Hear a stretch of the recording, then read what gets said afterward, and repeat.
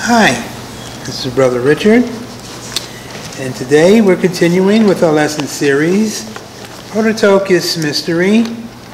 This will be part 416, and we're continuing with our lesson titled Fourth Empire Dominion. This will be part 2. Scripture indicates the Fourth Empire will be dominated by Satan who will be responsible for the destruction of the whole Adamic order. The, um, the period from the beginning of sorrows until the rapture, basically, Satan will be the centerpiece and everything will revolve around him. He will continue to dominate until the second half of the tribulation period, where he will be eclipsed by the beast. But we want to see some of his activities as it relates to the time just ahead. Isaiah 14, verses 15 to 17. He will be solely responsible for the destruction, leading the destruction of the Adamic order.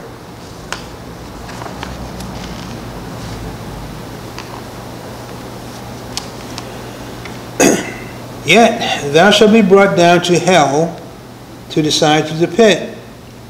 They that see thee shall narrowly look upon thee, and consider thee, saying, Is this the man that made the earth to tremble, that did shake kingdoms, that made the world as a wilderness, and destroyed the cities thereof, that opened not the house of his prisoners?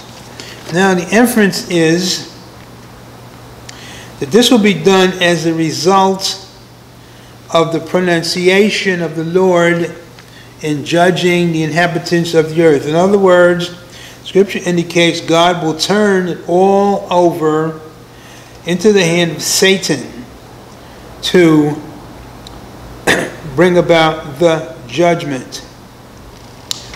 Jeremiah 25, verse 30.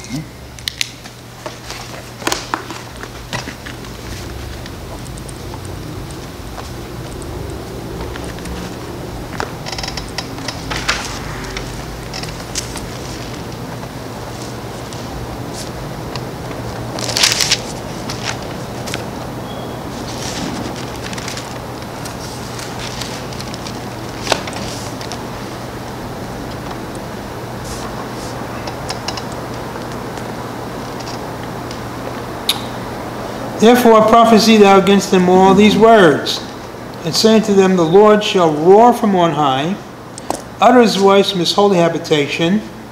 He shall mightily roar upon his habitation. He shall give a shout, as they that tread against all the inhabitants of the earth. So the inference of Scripture is that included into the commands and judgments is going to be the instruction that enables Lucifer to have authority to run rampant over the human race. Hmm. Notice what it says in verse 31 A noise shall come even to the ends of the earth, for the Lord hath a controversy with the nations. He shall plead. That word plead there means he will judge. Mm-hmm. With all flesh, he will give them that are wicked to the sword. Thus saith the Lord of hosts, Behold, evil shall go forth from nation to nation, and a great whirlwind shall be raised up from the coasts of the earth. This whirlwind, this noise, is a release of demonic intelligences to fan over the earth and incite the human race upon itself. At that point, nation rises against nation, kingdom against kingdom the human race will be incited to self-destruction. Uh, basically, the system of governments and armies are going to be incited for self-destruction.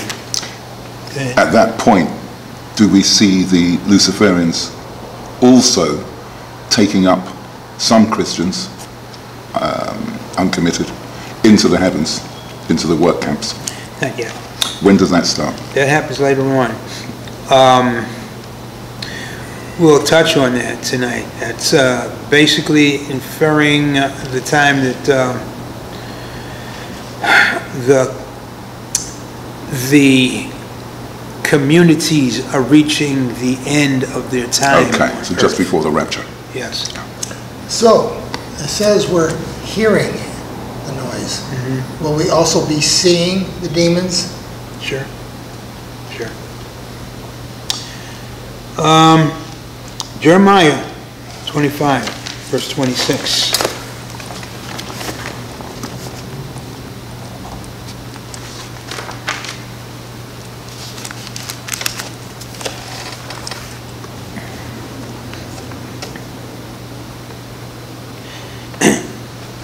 And all the kings of the north, far and near, one with another, we see incitation, and all the kingdoms of the world, which are upon the face of the earth, ci- incitation, and the king of Sheshach, the individual that's doing the incitation, shall drink after them. He's going to be released, freed to totally be the instrument of judgment on the Adamic order and everything that pertains to it. Which brings us to the next principle. So Brother Jones, Yes. Satan's going to be released upon the humans. Mm-hmm. Is he going to be given full reign to do as he will?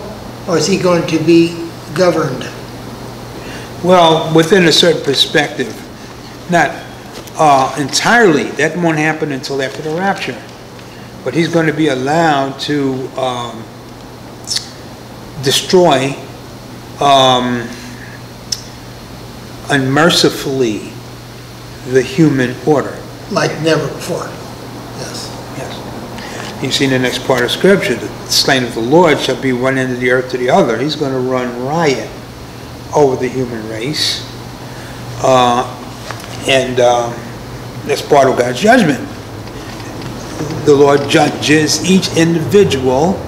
Each individual is going to be caught up in a snare. And the people that are caught up in that snare are going to go down to destruction at the hand. Lucifer is just the executioner who's finally been given what he wanted to do all the time. Now, Revelation 12, verse 13, he's going to be the instrument to release the fourth empire.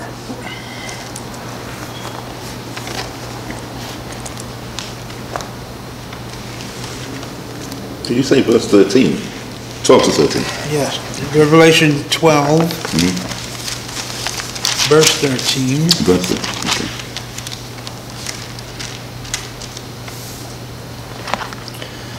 Actually, It looks like verse 3. verse 3. yeah. Okay. Move verse 13 later on, if we get time. Revelation 12, verse 3.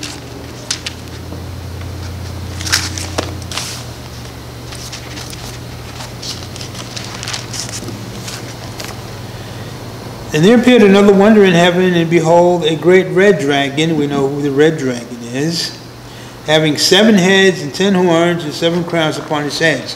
So he has jurisdiction over the fourth empire. Uh, he starts off dominating the fourth empire. First half, he will have dominion over the first, the first half of the tribulation period.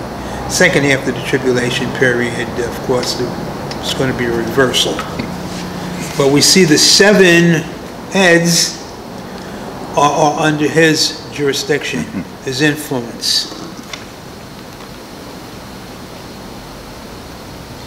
Now, what we want to take a look at is the first thing that he will do.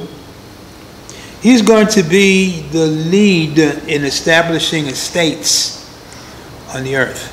The ancient uh, kingdoms of the Fourth Empire are going to come back. Hyperborea, Polaria, Atlantis, Lemuria, all the old uh, hidden and destroyed regions are going to be restored under him. He is going to be the cutting edge of, in other words, he's going to take the lion's share of the provinces for himself. Are all those regions that you've just mentioned actually active in the subterranean region right now? No. Okay. So when you say they will come back, help us to understand what that means. Well, some of them aren't even in the subterranean region. Hyperborea and Polaria are in the north and the south. Ah, okay. It's frozen over, so they're not operating now, but that's going to change. Yes, So, he is in charge of this. not now. When it happens, he's in charge. Okay, so now, so as it was, it will be restored to where it will again be under his control. Okay, because Well, thinking, actually under his influence, because you have kings. It's not going to be a federation, it's going to be a confederation. In other words, he doesn't have total dominion, because these are people before the fall that were given estates by God. okay, okay. And, but he influences. Okay, so The- the point I'm trying to get to, Mr. Jones, is just like uh, the beast when he's released after, you know, takes out the the Antichrist and the beast arises with power, gets more power, so so is going to be the same, similar to kings that are controlling these areas, or is it all going to be Satan? No, the kings have their own power. But the influence of Lucifer is so powerful that they are going to agree basically with the thrust, the direction that he's taking everything. Remember what we said last night, he's going to restore uh, the, the mercantile system. Yeah, So they're going to fall in line. It's the way it was before his fall. He dominated everything, but he didn't control everything. He influenced to the point where people would fall in line uh, because of the great influence. But he can't go into a competitor state and say, you do this, you do that. The beast will, but not Satan. He's not that powerful. Let me ask a good question.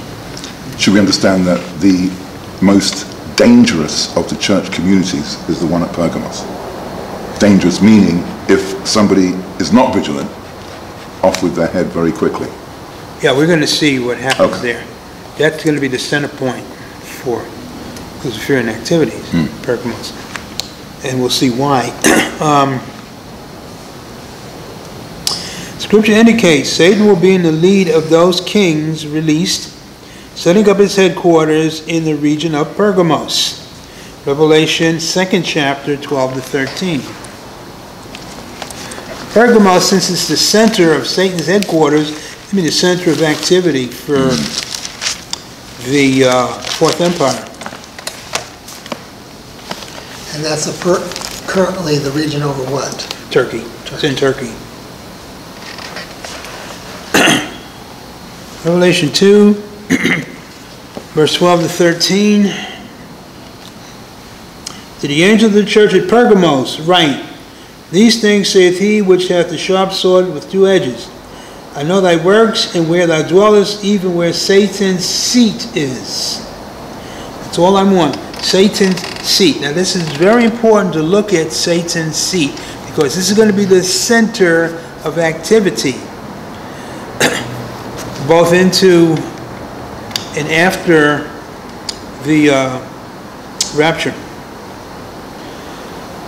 Case in point, Satan's seat is the region where he's going to give over to the Antichrist, Revelation 13.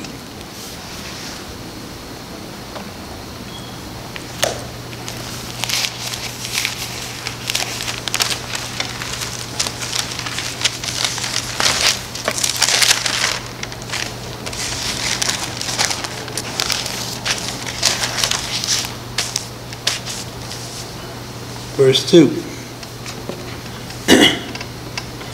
And the beast which I saw was like unto a leopard. His feet is the feet of a bear, and his mouth is the mouth of a lion. And the dragon gave him his power and his seat and great authority. This is the Antichrist. Now, turn to Ezekiel 28.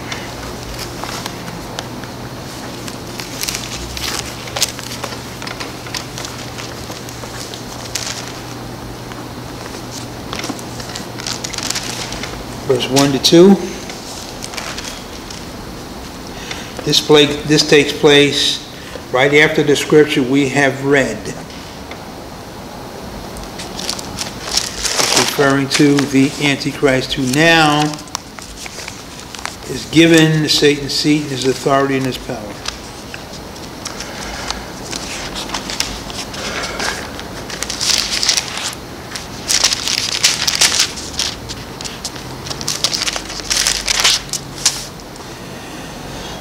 Lord came again unto me, saying, Son of man, say unto the prince of Tyrus, the harlot city, Thus saith the Lord God, because thine heart is lifted up, that thou hast said, I am a God.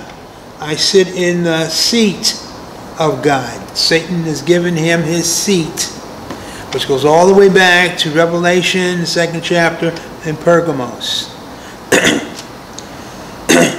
I sit in the seat of God. This is how Satan's going to present himself in tribulation period. I mean, in the uh, period of the beginning of sorrows, he's coming as a God to be worshipped. In the midst of the seas, yet thou art a man and not God, though thou set thine heart as the heart of God. So we see who he is. He's immortal. He's going to be killed. But he's been given such power, it makes him delirious with uh, self-aggrandizement. And he's used it to uh, aggrandize the people around him. The city's wealthy. They've learned the art of um, sorcery, incantations. They're dominating the rest of the world and the whole shot. This is giving you a picture basically nearing the end of the tribulation period. Now, giving you just some preliminary stuff. More focus on Satan's seat. Principle. Scripture indicates Satan will have his own religion, patterned after Israel's religion. The difference being instead of the worship of YHVH, they will worship him.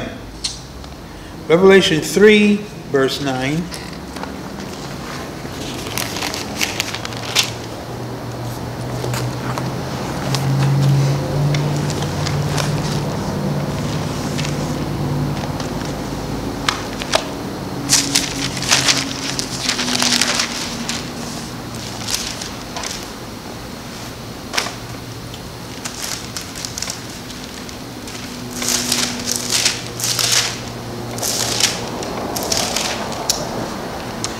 Behold, I will make them of the synagogue of Satan, which say they are Jews, and are not, but do lie. Behold, behold, I will make them to come and worship before thy feet, and to know that I have loved thee.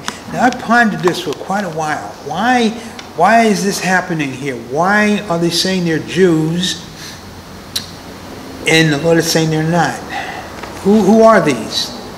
And it came to me today. They're tares. Turn to John, Gospel of John, the eighth chapter.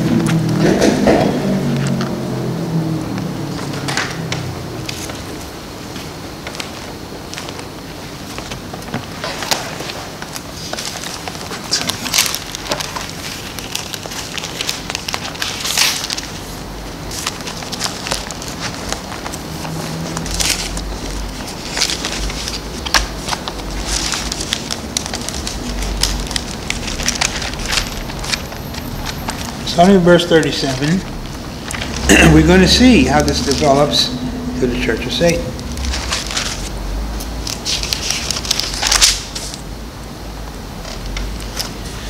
Jesus talking to the scribes and Pharisees of his time, I know you're Abraham's seed, Jews, but you seek to kill me because my word hath no place in you, your tares. I speak that which I have seen with my father, you do that which you have seen with you're father. They answered and said unto him, Abraham is our father. Jesus said unto him, If you were Abraham's children, you would do the works of Abraham. But now you seek to kill me, a man that have told you the truth, which I have heard of God. This did not Abraham. Ye do the deeds of your father. They said unto him, We be not born of fornication, We have one Father, even God. Jesus said unto them, If God were your Father, you would love me, for I proceeded forth and came from God. Neither came I of myself, but he sent me. Why do you not understand my speech? Even because you cannot hear my word. They're programmed. Ye are of your father the devil, and the lust of your father ye will do. He was a murderer from the beginning and abode not in the truth, because there is no truth in him. When he speaketh a lie, he speaketh of his own, for he is a liar and the father of it. This is the church of Satan. Hmm. The only difference between this in Revelation, the third chapter, is that they're going to switch their comprehension from what they perceive to be YHVH directly to their true father, Satan. You know that um, gathering at Bohemian Grove in this country by the various leaders? That looks like a template for exactly what you're saying. Yeah, well, it's patterned after uh, the satanic religion. Uh, what's going to happen, the Church of Satan is going to be the number one religion, dominating everything else. They're claiming they're going to be the true Israelite. And that's why they're in the communities trying to ga- garner influence in the communities. And they're going to wind up later on persecuting the very church. So that makes them really today's scribes and Pharisees, Sure, because they're sure, sure. But what it is, what you're seeing here is going to be translated to exactly what's going to happen at the time of the beginning of sorrows. These guys are going to come out of the woodwork, proclaim their religion. Satan is going to be worshipped by everybody and um, impose his religion on everybody until us this is going to continue on the apostasy until the coming of the beast who shuts it all down. So I imagine that. I imagine that um, they will openly perform human sacrifice Oh, sure, from the beginning of sorrow. sure. Well, not from the beginning of sorrow, Okay, when do you think we will see that open? after the rapture. Okay. And well, I'll tell you why. Going back now to Pergamos, Satan sees. So we, we, we can see how this, this region is going to be the influence for everything else that takes place in the Luciferian Fourth Empire. He's calling the shots. He's influencing everything. Now remember what we said in our lesson last night. Um, um, Satan's thrust, main thrust, is to reestablish his mercantile system. He's got a problem though.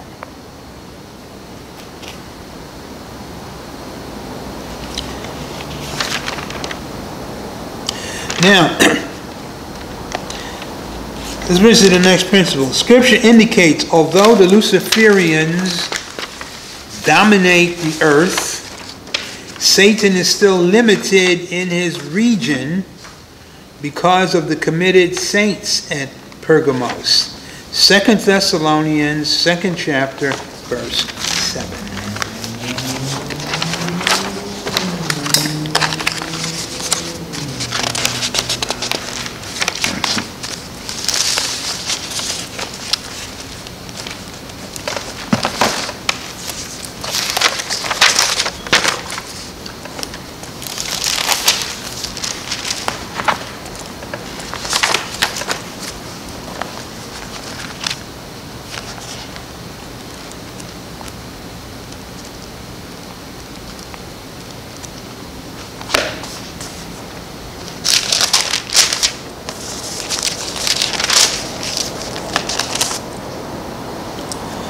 For the mystery of iniquity doth already work. Satan's going to be released. He's going to be given to the nth degree greater authority than he already has. Going to wipe out the human race, establish the fourth empire, but he's still going to have a limitation. This is the limitation. Mystery of iniquity doth already work, only he who now letteth, restraineth, will let until he is taken out of the way. Satan cannot dominate totally everything until the restrainer is removed. Okay. So that's the He's got a restrainer in his own headquarters region, Pergamos. Yeah, he's been able to infiltrate, he's been able to have a following in Pergamos, but you have the individual saint that's standing firm, committed, waiting for the rapture. Satan cannot Overcome that. overcome Right. Okay. So, until after the rapture, then Satan can do his Yeah, thing. then he'll sweep over everything like a tidal wave. Now, I wanted to note, want you to note something. This is two restrictions, two restrictions. Notice what it says, Second Thessalonians 2, 7.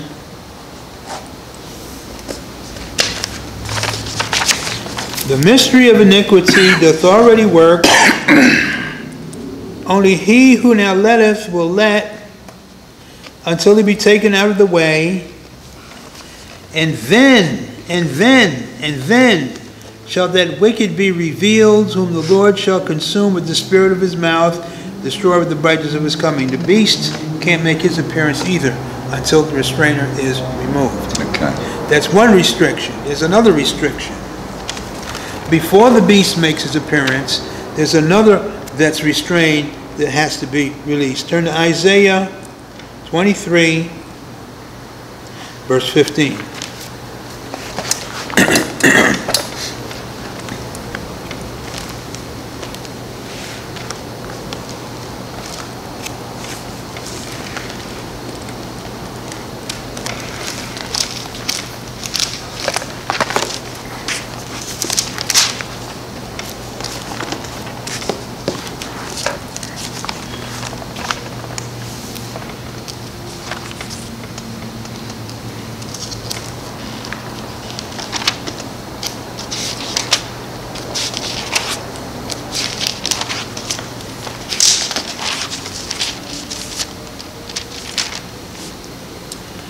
It shall come to pass in that day that Tyre, harlot city, shall be forgotten seventy years, according to the days of one king. After the end of seventy years shall Tyre sing as a harlot. Drop down to verse seventeen.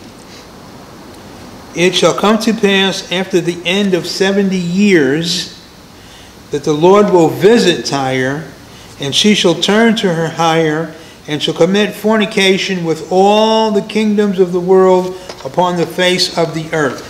Tyre is going to be limited, uh, basically neutralized until a certain point. The point is after the restrainer is taken away. So during the time of the communities, there'll be no harlot city. You're going to have the kings of the earth under Lucifer reestablish a mercantile system. We just read it. When she is finally released, she's going to come and commit fornication in a mercantile system that's already active and viable. I thought, and perhaps I've got this wrong, that the 70-year period ended at the beginning of sorrows. Uh, in a way, it does, but not completely. Okay. Meaning there will still be some level of... The harlot city is not going to be allowed to, to surface and flourish until after the rapture because the restrainer is still here. Satan is going to be busy reconstituting his mercantile system with all the other Luciferian kings and kingdoms. But Pergamos, which is going to be the capital of the harlot city, cannot function because you got the communities here and the restrainer is here. He can't do it. But the harlot city, I understand, still continues to function in the subterranean regions. It, yeah, very, very limited. Okay. Very limited. They can't go beyond a certain limitation because of the restrainer. Right. Uh, so what will happen, by the time of the rapture, the kingdoms will be in a basically have brought the mercantile system to a point where it's functioning. After the rapture, the harlot city will be allowed, just said that the Lord will visit Tyre. The harlot city will be allowed to totally flourish on the surface. And under Satan, Satan is the one that's going to develop the harlot city because that's in his province. He's, matter of fact, he's the guy that founded the harlot city. He's going to take the harlot city and he's going to make it dominant over everything else. Then he's going to take his buddy, the Antichrist, and make him vice regent over the harlot city, give him his power, because he wants to ascend into the heavens and restart, reestablish his mercantile system in the heavens and ultimately connect the two. Which he won't be able to do that, but he's going to be allowed to start it. Let me take you back to your two restrictions. Okay. You mentioned the beast mm-hmm. being, one of those being restricted, and you said that's because the restrainer has yet to be removed from the planet. According to Second Thessalonians. Agreed, but that removal happens at the rapture. Mm-hmm. And it's the first restriction which is in play at that point being Sheshach. Yes, but know what Paul, notice what Paul says. He says, until he be taken away, then shall that man of Okay, affliction be. And he's not giving the time period, Sure. he's saying that the restriction is released now. He's ultimately gonna come in, but it'll probably be a period of thirty years before he does Right. make his appearance. because we've got to have Sheshach finish and then, okay. But evil will reach its maximum. There's no restriction there uh, at all. So the harlot city is going to be allowed to flourish and, and, and, and dominate everything with its mercantile system. And um, Satan is going to be so pleased with it, he will want to extend it to the heavens. So, yesterday, I'm trying to remember the verse. The enemy infiltrates the pre-church community groups. The leaders, the Prototokos leaders, have bought into, um, what do you call it, doctrines of devils and so on and so forth. Not the prototype, well, not the prototype Prototokos leaders, the leaders are the angels in heaven. I know what you're talking about. The- But this is The pre- apostles, and- huh? This is pre the church, church communities. This is before the church communities. Oh, So this is, this is beginning of sorrows Yeah. up until the gathering. Okay, oh, yeah, I know what you're talking about, Okay. yeah. You know what I'm talking about? yeah, okay. Okay. So that person or. That's the- before they get to the community. Before they get to the community, exactly, that's what I should have said. So the person's leading the group before they get to the communities, there will be Prototokos members involved in, in that, of course. Yes, the teachers.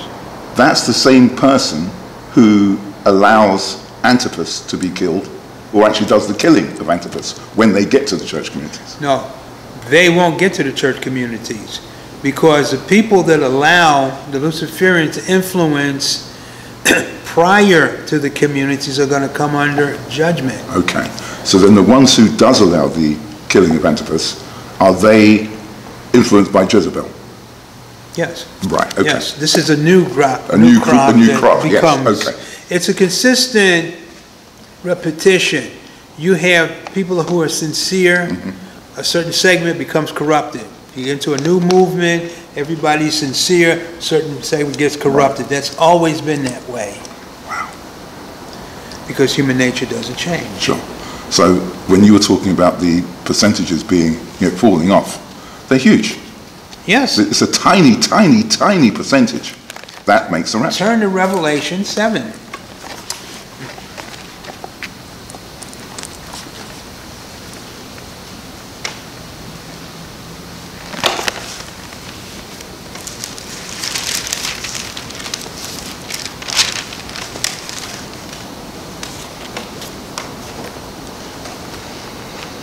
Verse 9.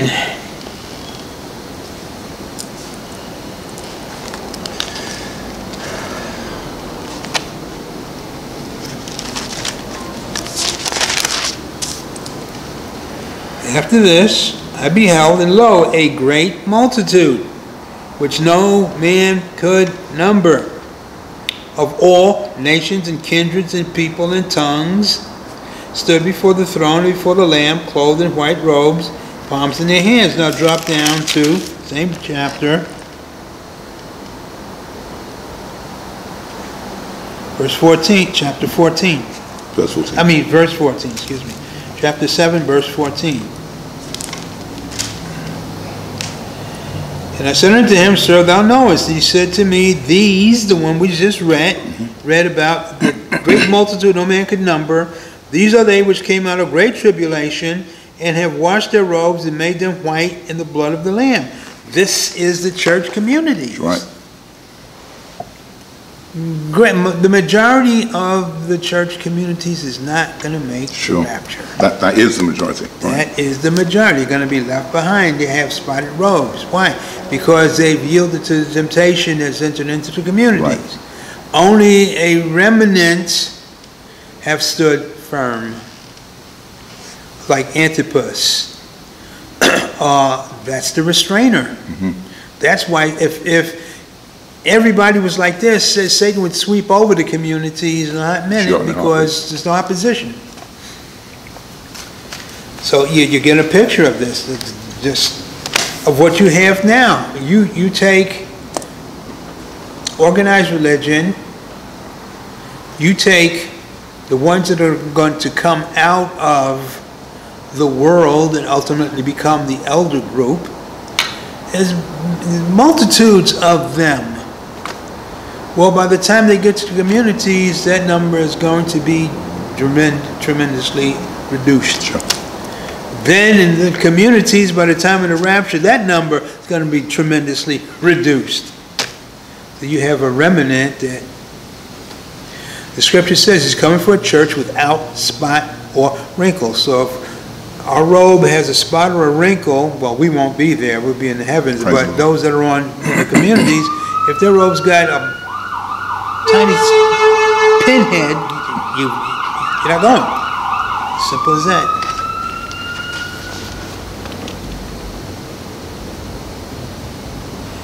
Now, uh, Isaiah 23, 13, and we'll be closing with this, about the harlot city.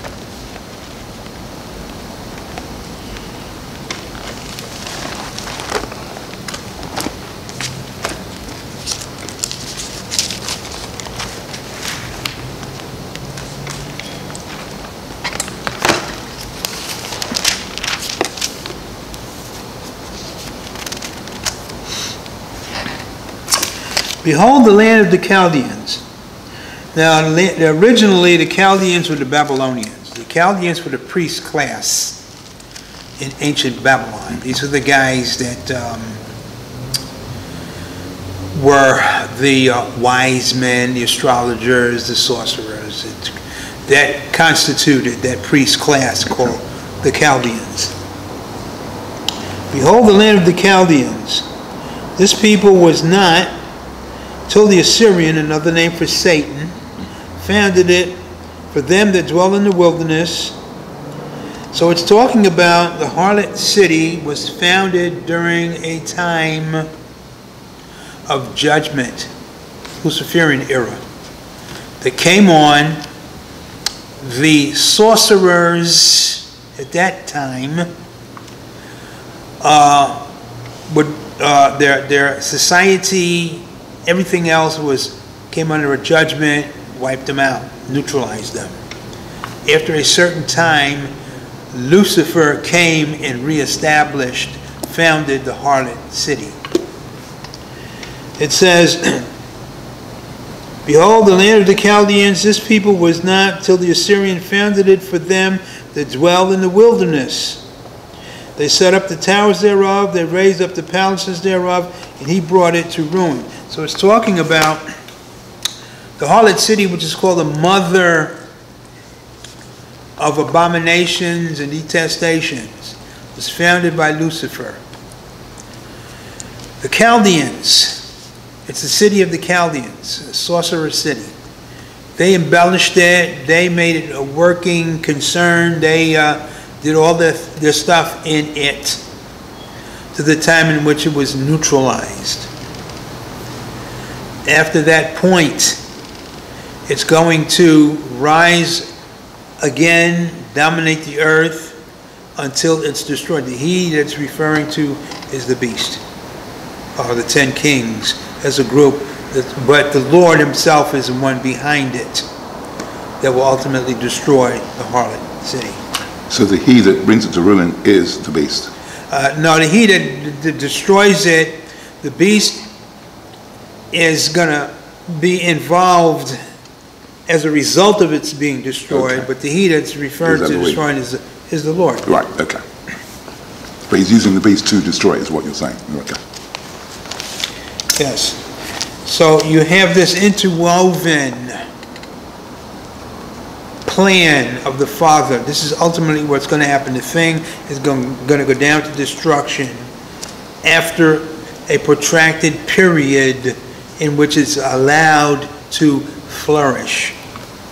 And as it is allowed to flourish, it's going to reap tremendous, uh, egregious torment on Christians. Turn to Revelation 12th chapter. Just before we turn to Revelation 12 chapter. Mm-hmm. Where did you say we find this land of the Chaldeans? Babylon. Today's Babylon. Yesterday's Babylon, the Nebuchadnezzar. That Babylon, okay. Tho- Those are the ones that made Babylon great. Right. Sorcerers and all the rest of that. Revelation 18,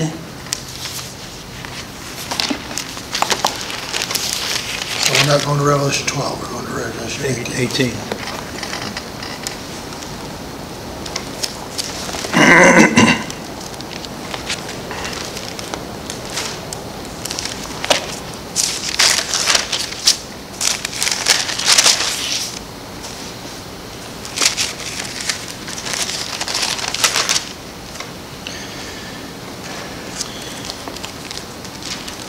Starting in verse 4.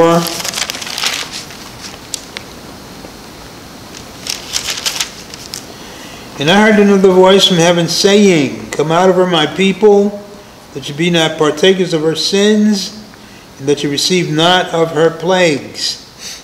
This is Prototokos, making a proclamation from heaven. This is the first half of the tribulation period, she's being destroyed. Her sins have reached unto heaven, and God hath remembered her iniquities. Reward her even as she rewarded you, double unto her, double according to her works, and the cup which she hath filled, fill to her double. So talking about, this is the time that God's judgment is going to fall on the harlot city. This is the time the ten kings are going to be allowed to come forth, wipe her out, give their power to the beast, and proceed the second Okay. half of the tribulation period. So that's Isaiah 23, 13. Mm-hmm. So when the Father, when, when it's saying "he," it's meaning the, the, the- the brothers. Well, he refers to God, the Father, who destroys the harlot city through the ten kings. Okay. Matter of fact, Revelation 17 tells you that. Uh, verse 12. Ten kings which thou sawest, the ten horns which thou sawest are ten kings which have received no kingdom yet. Revelation 17, 12. But receive power as kings one hour with the beast. They have one mind and shall give their power and strength unto the beast. These shall make war with the Lamb, and the Lamb shall overcome them, for he is Lord of lords and King of kings, and they that are with him are called and chosen and faithful. And he said unto me, The waters which thou sawest were where the horse sitteth are peoples and multitudes and nations and tongues. The ten horns which thou sawest upon the beast, these shall hate the whore, shall make her desolate, and naked, and shall eat her flesh and burn her with fire. For God, talking about the Father, mm-hmm. for God hath put in their hearts to fulfill his will, and to agree to give their kingdom unto the beast until the words of God shall be. So it's all part of the Father's plan. Lucifer founded the harlot city, built it up, made it great. The Chaldeans ran the harlot city, sorcerer city. Ultimately, he destroyed it. The he is referring to the Father who uses the ten kings to wipe her out and continue with the second half of the tribulation period. I'm thinking about the, the description of her. Mm-hmm. She's riding a beast. She's a female riding a beast, and mm-hmm. she's, Because for a time, she has power over, remember, the beast symbolizes the ten kings and the beast that ultimately is going to destroy her. But for a time, when she's in power, the beast cannot make his appearance until a certain point. So they take advantage of that, use the beast for their, remember, there's a kingdom on the surface, a kingdom in sub subterranean, which the harlot city is also dominating. The beast, the ten kings re- resent that. Ultimately, they look for an opportunity to get even, which happens. God engineers all this in the background. When they get the opportunity, they wipe her out. And then, they, of course, they take control of everything and they run the show for a while. okay, now, we know it's God using them to wipe her out. Does he just know their hearts and put in their hearts, now is the time? That's what Yeah. they said.